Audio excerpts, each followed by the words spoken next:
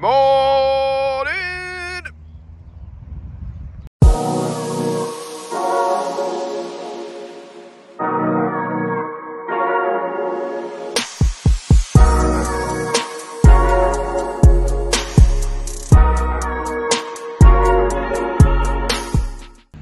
Hello and welcome to my daily blog of life on a beef and arable farm here in South Yorkshire. I can hear Andy's already started strawing up, um, so we'll go and check that out and get these cows fed. So Andy's got his tractor out of here. I can hear it running actually. Oh, he's down here, look. Here it is, the 6130R. He's waving, look. It does look as though it's going to be a nice day, but it's a bit chilly. Um, but yeah, clear skies. Well, fairly clear.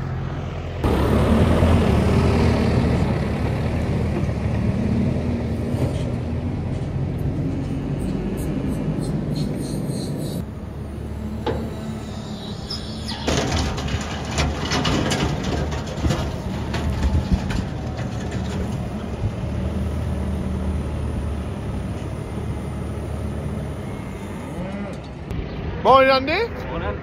Huh? Yeah. yeah. Good. Yeah, yeah. Good. Good. Oh, cold though, isn't it? Nice though.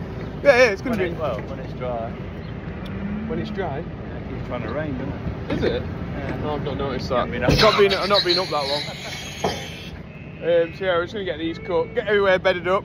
Um, Andy's gonna go out for a little bit for the day, Yeah. and then a bit later, something might be happening this evening. Nice. I think Mick said he was coming up um, a little bit later today. That'll be interesting. Let's see him. There it is, just blowing out of the chute. Bedding all these cattle down, giving them in a nice new bed. And we do this every single day. Um, little and often is better for us personally, rather than doing it every maybe second or third day and putting down a lot, and then on the second or third day getting a poor quality bed. But I can see why other farmers might do it a different way, sort of saving time and you know fitting everything else in. What works on one farm doesn't always work on another. Just our method. As my dad's just doing a bit of paperwork in the house, I'm gonna jump on the, the TM here and start feeding round. So we just bucket it round with this MX auger bucket that puts the meal out to the left hand side. Ideally, if we were probably building the farm again, we'd have it so that you could go around with a mixer wagon, but when we were, were designing the farm originally, one, we didn't think we'd get to this size, and two, um, mixer wagons weren't really used in beef. Um, so having a bucket was like forward, uh, forward thinking. So my dad's come out. I'm now doing the mix. Just need a bit more. Just popping the molasses in. Waiting for the clock to get to the right. I think three fifty hopefully today. I think that's close enough. So this is absolutely fantastic. She's not starting.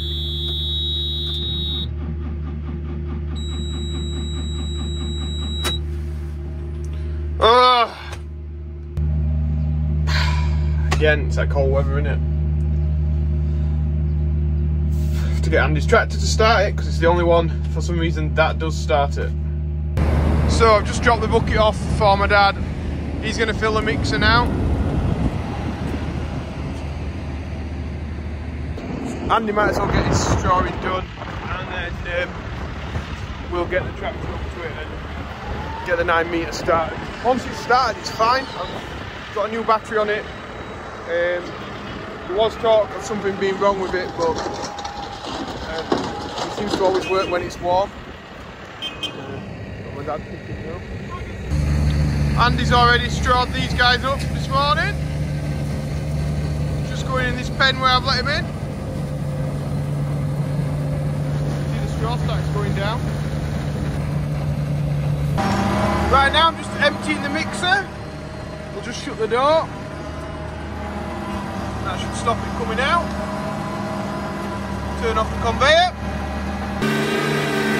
Rearrange where we're uh, out from. Set everything going again. Out she comes.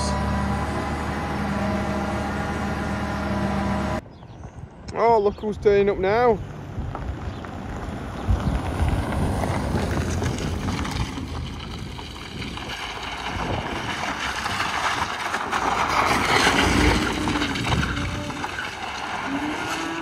Yeah, this is where he crashes.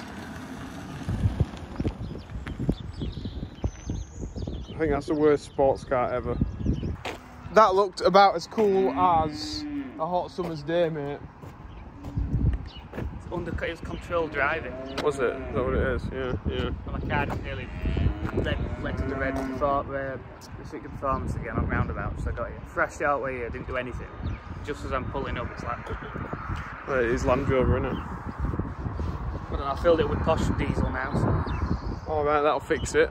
Fix it. That'll fix it. Hoorah, diesel.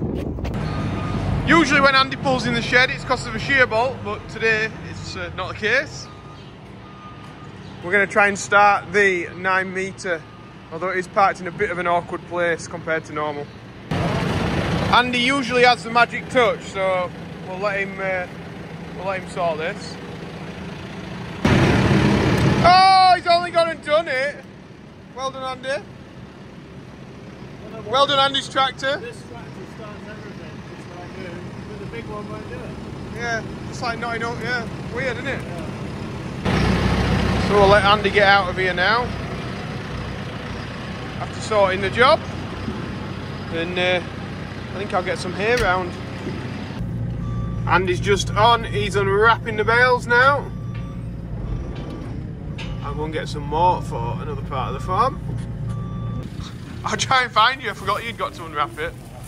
Um, these are getting a bit giddy, aren't they? Do you want to do with straw now? Make a drink. You all right? All right. Yeah. So Andy's just getting some straw down now.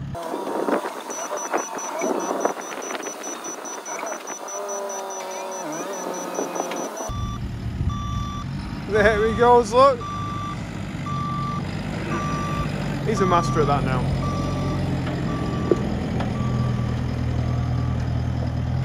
So Ben's just um, shouted we've got a cow out. One of the little grazing ones that can escape has escaped. He's down here, look. Maxing and relaxing, eating some grass. You shouldn't really be able to get around to this side, but there is a little gap in the hedge. So cows like to fall, they like to go back the way that they know. I suppose that's like the safest route for them because they know that they've gone through there, it's safe. So we're just putting them back around that way now. If we try to take them up the other way, which is nice, wide open, easier for it, um, probably just stress him out a little bit. So we're just nice and slowly gonna push him back round the corner. Is he gone, Ben?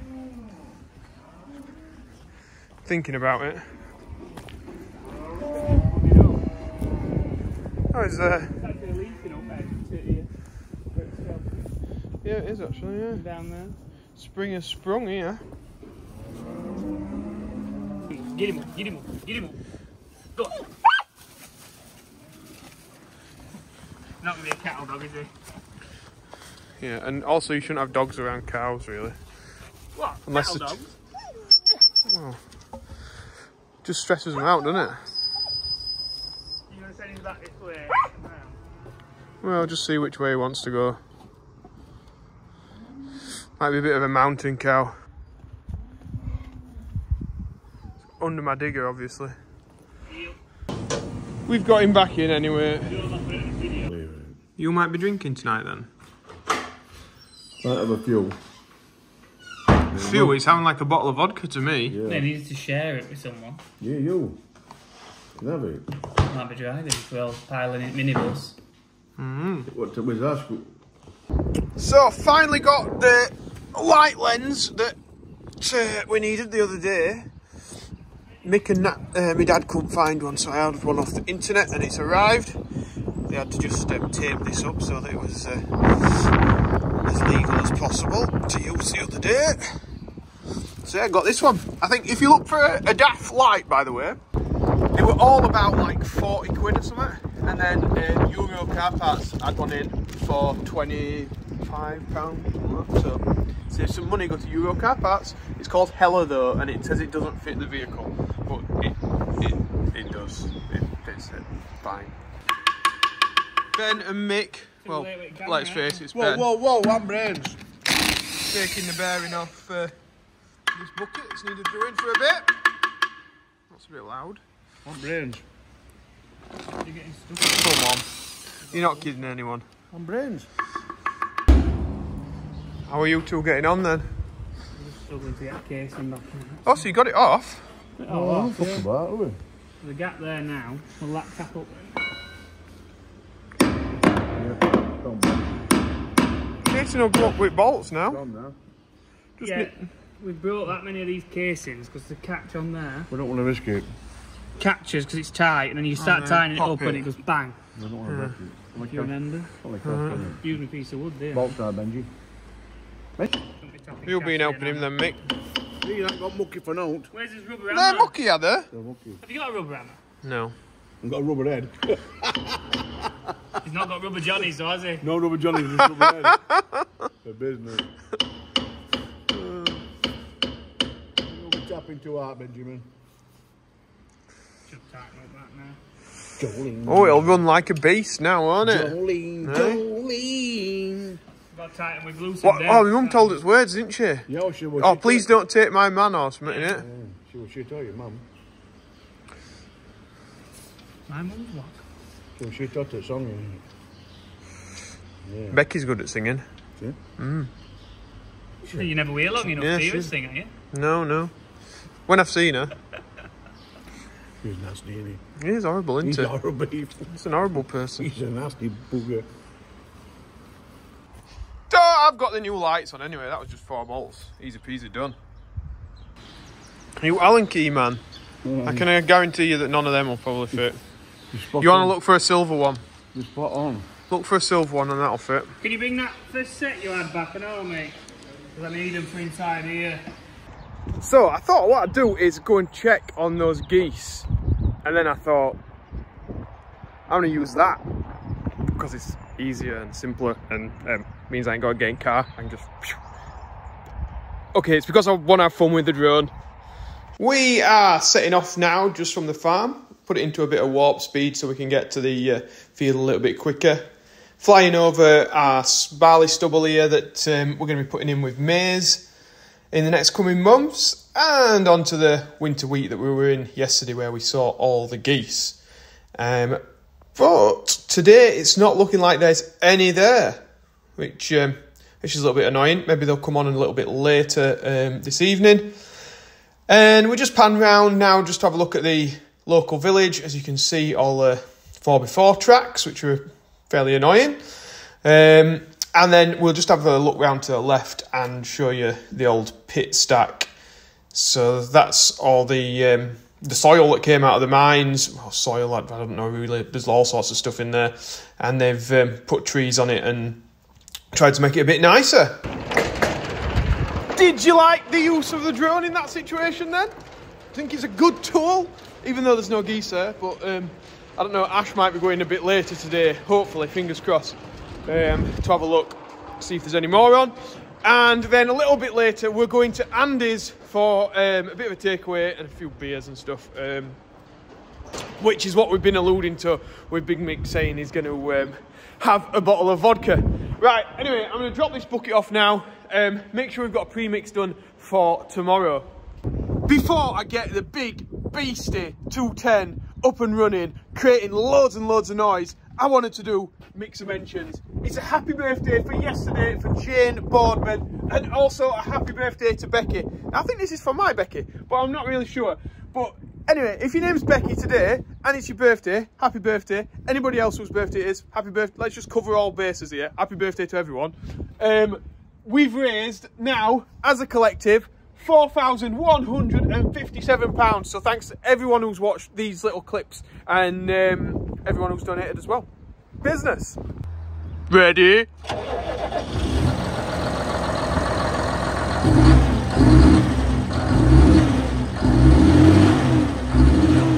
She's a honey! Right, let's get filled up with straw and hay and all that kind of... There it is. Straw and hay and all that kind of thing. The mix is sorted now and I'm uh, just feeding out. A little bit early today, but I want to get finished in good time so we can get over to Andy's. Andy's Manor. Mr. Pheasant's here. He must be hungry.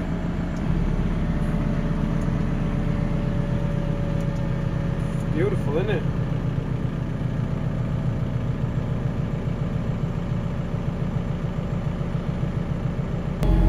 Ben's come back to help me feed up, good. I need somebody just to open the gates for me. So he's going to do that. Now I've put the pallet tines on here rather than the MX, just because the MX is on the on the nine meter. We're going to shoot down here, give these guys a bale of hay.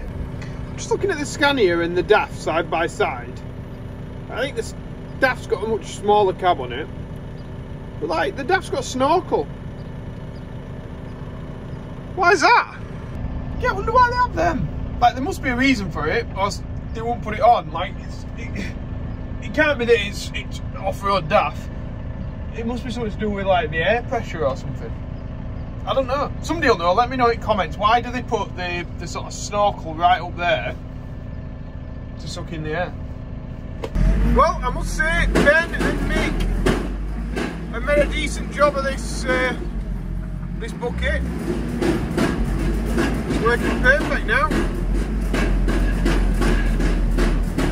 Firing it out. Right, so I'm just rushing about going to get Andy's tractor to put it away in the shed. That's everything done then. Um, but if you have liked today's video, please remember to like, um, subscribe, and um, them guys are running off, aren't they? Yeah, subscribe if you've not already, because it really, really helps our channel out. That's the reason we're going to Andy's tonight for the 17k party. Um, it's just an excuse, really, but um, it does make it easier to to um, have excuses just to have our little trips apart, uh, trips away, and bits and bobs like that. So, um, yeah, we're gonna have a good time tonight. Possibly might go live for a little bit. Um, and uh, hopefully some of you can join us. Hopefully this tractor goes into gear. Right, anyway, I'm going. Thanks for watching. I really appreciate it. We will see you tomorrow. Business.